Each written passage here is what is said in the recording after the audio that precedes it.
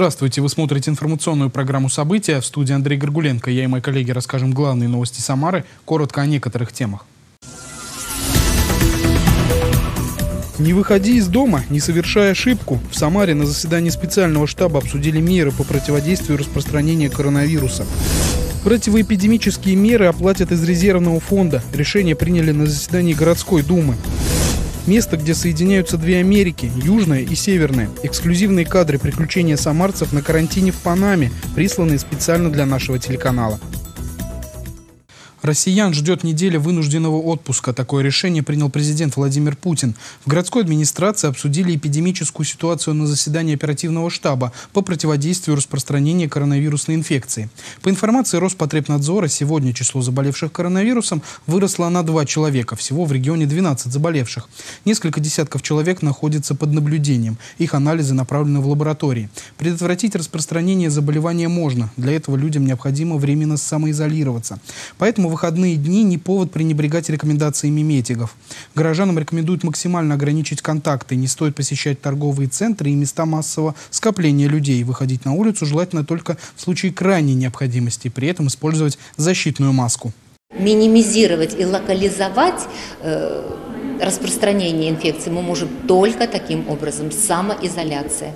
И самоизоляция, она же сейчас предлагается не только гражданам, которые прибыли из-за рубежа, да? это рекомендация лицам группы риска, которые никуда не выезжали. Это э, мера, которая адресуется всем гражданам Российской Федерации. По словам Путина, все структуры жизнеобеспечения, в том числе медицинские учреждения, аптеки, магазины, учреждения, обеспечивающие банковские и финансовые расчеты, транспорт, а также органы власти всех уровней продолжат свою работу. Что касается СМИ, то им рекомендовано сократить число сотрудников и, по возможности, часть коллектива отправить на карантин. На усиление противоэпидемических мер в Самаре добавят средств. Депутаты городской думы поддержали поправки в бюджет, предложенные главой города Еленой Лапушкиной.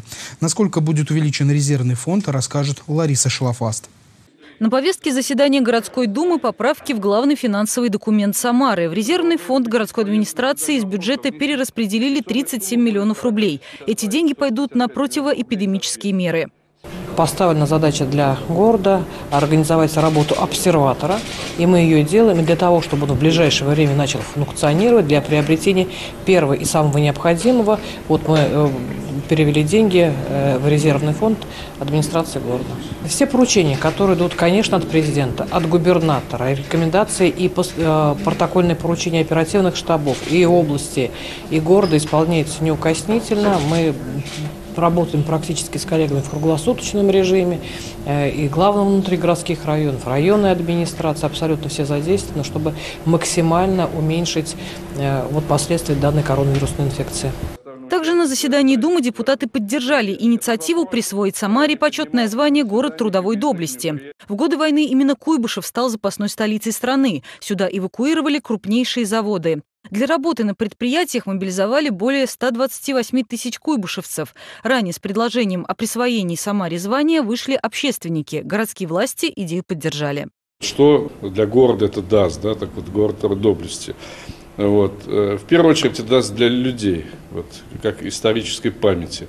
Вот. Э, для э, будущих поколений, да, так сказать, чтобы сохранить лучшие традиции. Теперь Дума направит письма с ходатайством в адрес регионального правительства и губернской думы. Лариса Шлафаст, Константин Головин. События.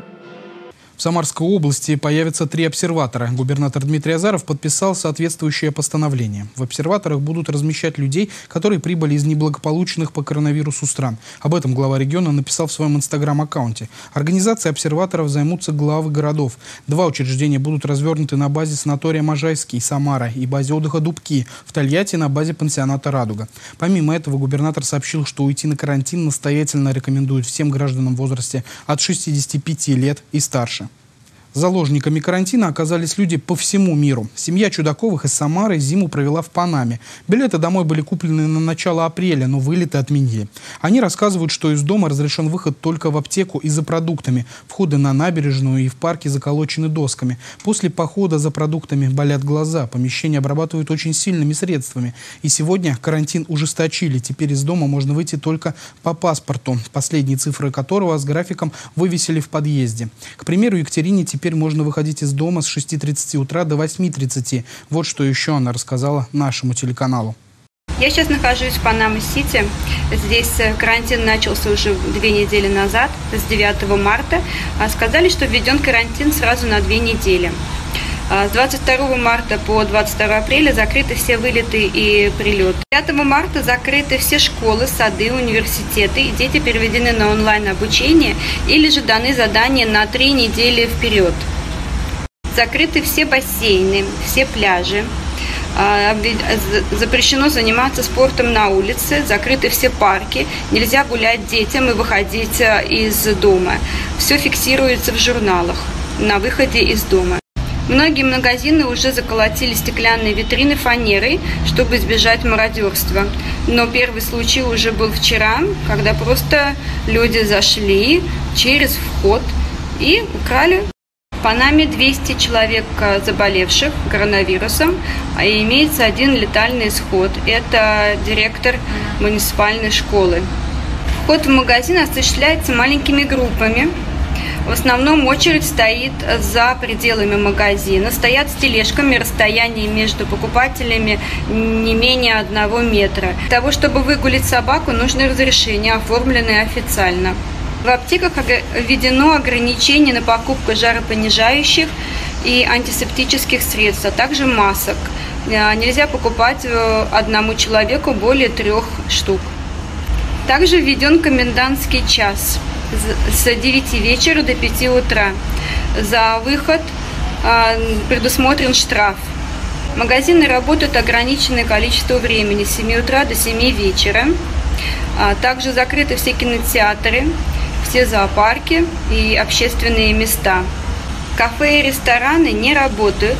Можно только заказать на вынос или на доставку любую продукцию по телефону. Оплата наличными и безналичными, но больше но в основном наличными. В Самаре в ближайшее время начнется производство антисептических гелей для рук и дезинфицирующих средств для обработки различных поверхностей. В месяц будут выпускать 900 тонн средств, из них 200 – лосьоны для рук. Подробнее Елена Малютина. Обычно на запуск новой продукции на этом предприятии уходит от полугода до полутора лет. Сейчас же счет идет на неделе.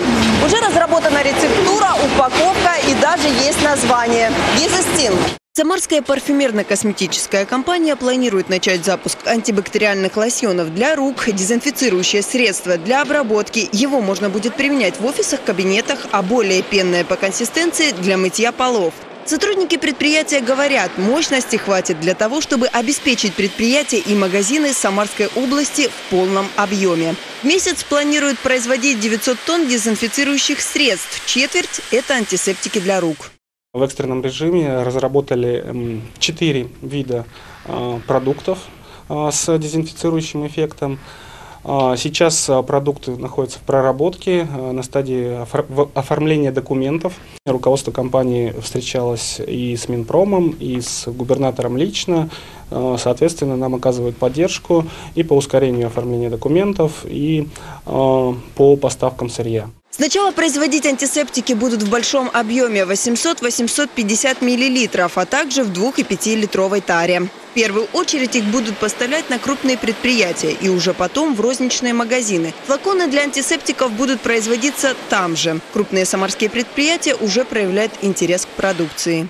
Однозначно в составе этого средства будет 70-75% спирта. Также туда будут добавлены какие-то а, специальные химические ингредиенты, которые а, как бы тоже способствуют уничтожению микроорганизмов, ну и в обязательном порядке смягчающие добавки для того, чтобы а, люди как бы не испортили кожу рук во время применения этих средств, тем более, что нам приходится их сейчас применять часто и, возможно, придется их применять длительно. Сотрудники предприятия отмечают и повышенный спрос на антибактериальное мыло. Продажи увеличились в десятки раз. На парфюмерно-косметическом производстве планируют запустить все мощности, чтобы максимально обеспечить потребность горожан. Елена Малютина, Николай Епифанов. События.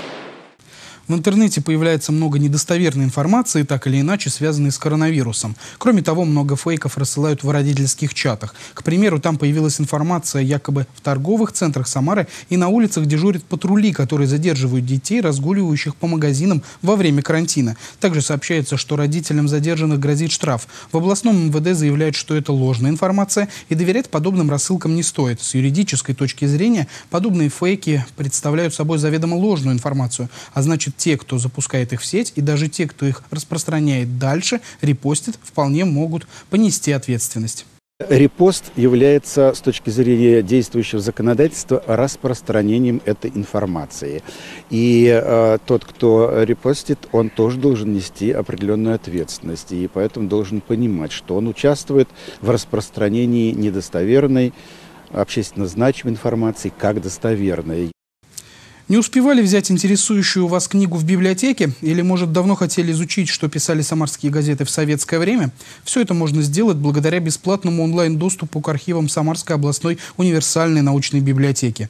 Оцифровывали документы уже давно, но сейчас, во время карантина, такие возможности особенно востребованы. Подробности в следующем сюжете. Начал он свою э, историю с э, названия «Историк-марксист». То есть в 26 году был основан этот журнал, и он издавался э, по конец 30-х годов. Соответственно, в 1931 году стал выходить журнал «Борьба классов». Соответственно, тоже исторической тематики, но он больше такого научно-популярного жанра. Если это все-таки больше именно исторически, чисто научной точки зрения, это научно-популярный. В 1937 году «Борьба классов» переименовалась в исторический журнал.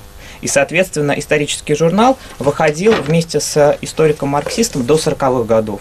Затем, соответственно, произошло их объединение, и с 1945 -го года они выходят под названием а, журнал «Вопросы истории». Более 1100 выпусков журнала «Вопросы истории» хранятся в Самарской областной библиотеке. В хранилище поддерживаются определенные условия – температура, влажность, уровень света. Все выпуски за 94 года занимают около 10 стеллажей, но теперь они все помещаются в один компьютер, ноутбук или даже мобильный телефон. Самарская областная библиотека предоставляет бесплатный доступ к полнотекстовым базам данных разных источников. Чтобы воспользоваться им, нужно зарегистрироваться на сайте учреждения. Личный аккаунт сохранится и после окончания карантина. В базах данных есть и современная, и научно-учебная литература, и периодические издания разных государств. Чтобы не потеряться в этом изобилии, помощь готовы предложить консультанты, которые доступны онлайн в часы работы библиотеки. Если вам нужно будет подобрать список литературы необходимой или подобрать э, полнотекстовые документы по вашему запросу, э, библиотека начинает сейчас вот в этой ситуации реализовывать сервисы предоставления удаленной отправки по электронной почте необходимых. Оцифрованные материалы фонда в библиотеке доступны даже без предварительной регистрации. Среди них краеведческие документы, особо ценные и редкие издания, а также коллекции периодики, выходившие в регионе в разные годы и даже столетия. То, что занимает целые залы в хранилище, оцифровать помогает специальная машина, которая бережно и качественно сканирует страницы. Но все равно оцифровка фонда – очень сложная работа. Это очень кропотливый и трудоемкий процесс. Мы в месяц оцифровываем, ну, я не буду говорить в книгах, потому что книги бывают 10 страниц, бывает и 1000 страниц. Uh-huh. А в месяц у нас порядка 2000 страниц. То есть мы в год оцифровываем, размещаем максимум 400 книг. Uh-huh. Это кропотливый, трудоемкий процесс, в который задействованы многие отделы. И хотя для гостей библиотека с 18 марта закрыта, во время карантина учреждение продолжает свою работу. Сотрудники готовы обслуживать посетителей по телефону, выдавать по запросам справки и консультировать. Налажена и работа на сайте и в социальных сетях. Кроме того, библиотека будет проводить онлайн-трансляции лекций и творческих встреч. Андрей Григуленко, Максим Гусев. События. Не подъехать к контейнерам как ни крутись. Самарским водителям мусоровозов порой приходится демонстрировать все свое мастерство, чтобы не задеть машины, припаркованные у контейнерных площадок. А иногда автомобили и вовсе мешают подъехать к цели. Какие еще преграды есть на пути спецмашин в репортаже нашей съемочной группы? Да, вот так. На Вольскую 83 заезжать.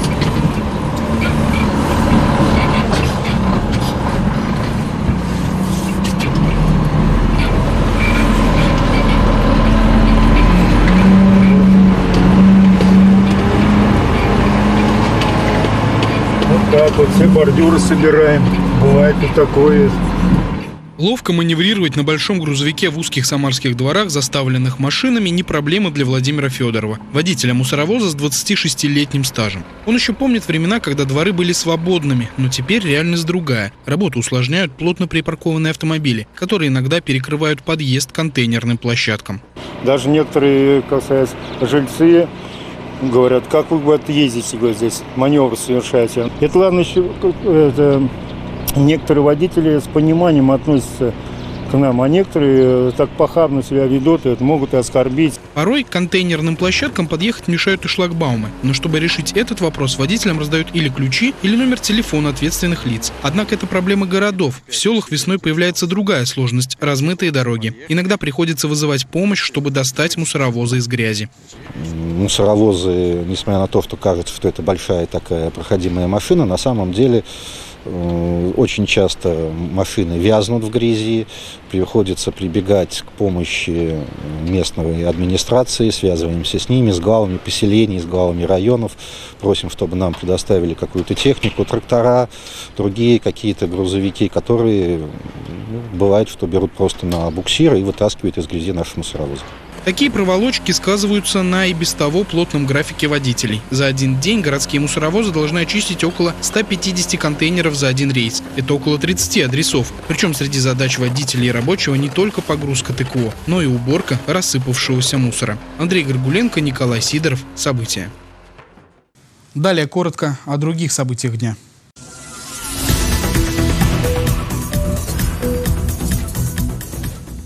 Самарский директор кафе выплатил два штрафа по одному миллиону рублей. При этом предприниматель пытался судиться, но проиграл два суда.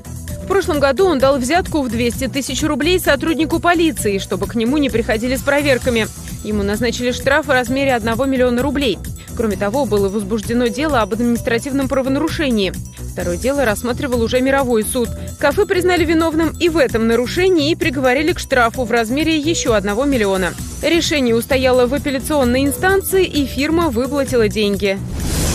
Самарский театр оперы и балета 28 марта примет участие в акции «Час земли». На один час с 20.30 до 21.30 отключат подсветку здания театра.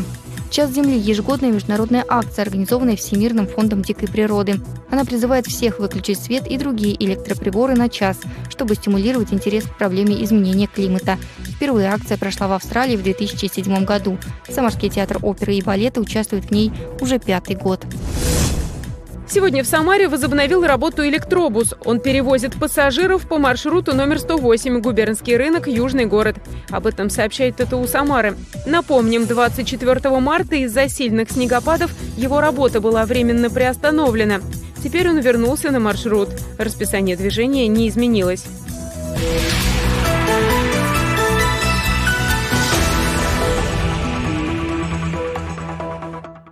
Вдоль левого берега Волги, почти до самой Красной Глинки, выселись купеческие дачи. Одна другой вычурнее. На одной из них воздвигнуты два гигантских слона, которых хорошо видно с парохода. Так о знаменитой даче со слонами пишет в своей книге Сергей Голицын. Это один из самых загадочных домов Самары, полный легенд и мифов. Уже больше десяти лет он закрыт для посещения. Марии Левиной удалось попасть за закрытые двери и выяснить дальнейшую судьбу поместья. Знаменитый в Самаре художник, фотограф и краевед Константин Головкин в начале XIX века принялся осваивать новое для себя ремесло — архитектуру. Вместе с профессиональным зодчим Валентином Тепфером они спроектировали уникальное в своем роде здание. Дача купца Головкина первоначально построена в стиле австрийского модерна. Визитной карточкой дачи являются знаменитые слоны и бюст девушки. В народе ее назвали «Паночка» из-за несчастной судьбы. По одной из легенд, это любовница купца Головкина, которая покончила жизнь самоубийством. Но легенда заставляет себе усомниться, ведь каждое лето здесь, на даче, купец проводил вместе со своей семьей. Есть легенда, касаемая этих самых знаменитых слонов. Якобы в одном из них хозяин дома замуровал семейные фото и план дачи, который до некоторых времен был недоступен. Вообще дом полон всяких разных легенд, и именитые архитекторы называли его «дом-миф». Фигуры слонов и паночки – дело рук самого Головкина. Судя по всему, купец был творческим человеком.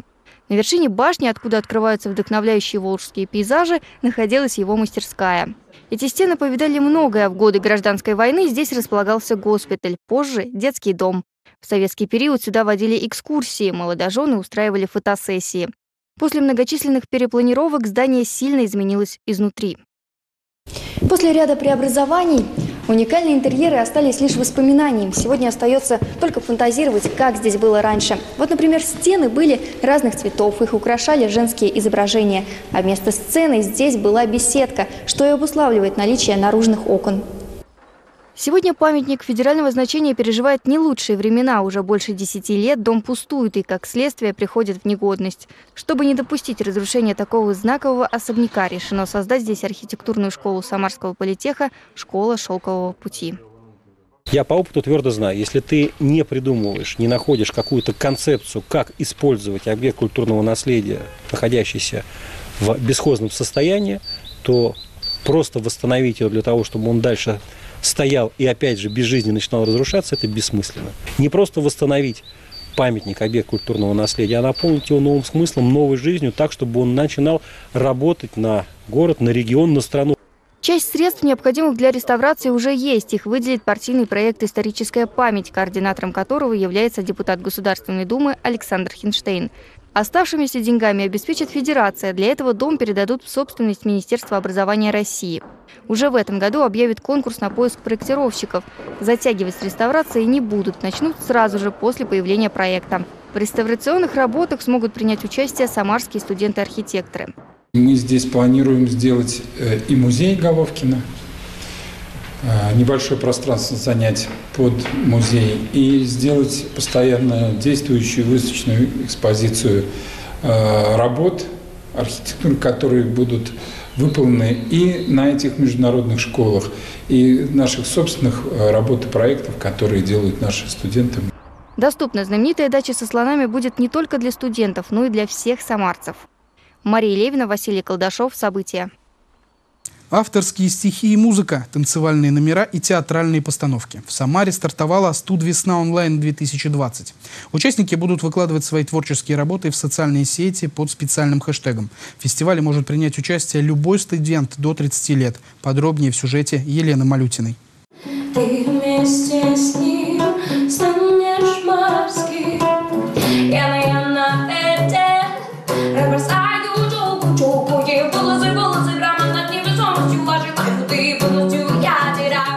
Эту песню под названием «Бангкок» самарская студентка Алина Прокофьева написала за один вечер, но потом дорабатывала и пробовала различные аранжировки. На это ушло несколько месяцев. В конкурсе «Студенческая весна» участвует в четвертый раз. В прошлом году стала лауреатом. Говорит, сейчас находится на пике своего творчества и рассчитывает на победу, несмотря на то, что в этом году фестиваль пройдет в необычном онлайн-формате. Я думаю, этот порыв э, произошел где-то из глубин души, поскольку в сложившихся обстоятельствах мы все страдаем от нехватки открытого творчества. И на эту идею меня натолкнули мои друзья, в частности, э, люди, которые всегда занимались тут весной в нашем университете. У нас идет лестница преемственности. Наше поколение все поклонники студвесен и активные участники. Авторские стихи, музыкальные композиции, танцы, театральные постановки и новое направление журналистика и SMM. Оценивать работы студентов будут эксперты – музыканты, актеры, танцоры, режиссеры, журналисты. Принять участие в студвесне может любой студент. Для этого нужно подать заявку на сайте, а затем выложить видео в любой соцсети, указав хэштег «Студвесна онлайн». Мы надеемся, что в Самарской области будет много участников. А в целом по России проект пользуется большой популярностью, потому что это возможность показать свое творчество и экспертам, и зрителям, при этом не снимая, не арендовывая большие залы, не выступая на сцене.